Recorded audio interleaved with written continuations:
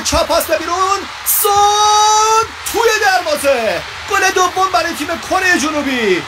چه پاسی داد چادوری بازیکنی که از اون نیمکت اومد آن کره جنوبی. پانگ مین. فرار چهار رو ببینید. دریبل بعدیش استثنایی بود. و پاس گل رو ببینید. سونم دیگه کاملا مسلط آورد رو پای چپش رو با تمام قدرت با روی پا تو رو تاق دروازه ازبکستان کوبید و کره جنوبی رو با قاطعیت دیگه به دور بعدی می‌بره. سونگ هونگ مین.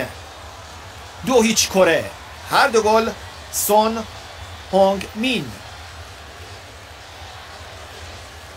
نستروف هم دیگه هیچ کاری نمی‌تونست انجام بده.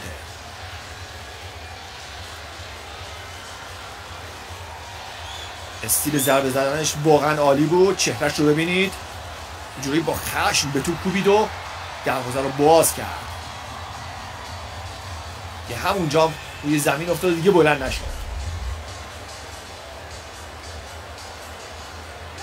ظاهرا آسیبم دیده.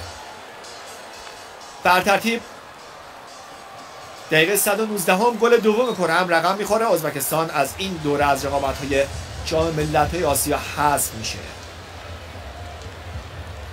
ببینیم چقدر وقت تلف شده محاسبه شده فقط یک دقیقه.